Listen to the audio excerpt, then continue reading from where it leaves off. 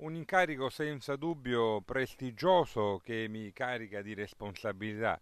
Eh, si tratta di un tema cruciale per questa regione. Eh, l'acquedotto pugliese è l'acquedotto più grande d'Europa. Il consiglio direttivo dell'autorità idrica pugliese ha eletto quale nuovo presidente dell'ente il sindaco di Mesagne, Toni Matarrelli. Vicepresidente è stato nominato il sindaco di San Marco in Lamis, Michele Merla. L'autorità idrica pugliese, soggetto rappresentativo dei comuni dell'intera regione per il governo pubblico dell'acqua, con sede a Bari, istituita nel 2011, è un ente pubblico non economico dotato di autonomia organizzativa, amministrativa, patrimoniale e contabile. Il consiglio direttivo risulta attualmente composto anche da Antonio De Caro, sindaco di Bari, e Carlo Salvemini, sindaco di Lecce. L'autorità idrica eh, svolge una funzione centrale, eh, decide insieme all'acquedotto quali siano le infrastrutture da realizzare sul territorio regionale, per cui un organismo non solo di rappresentanza, ma un organismo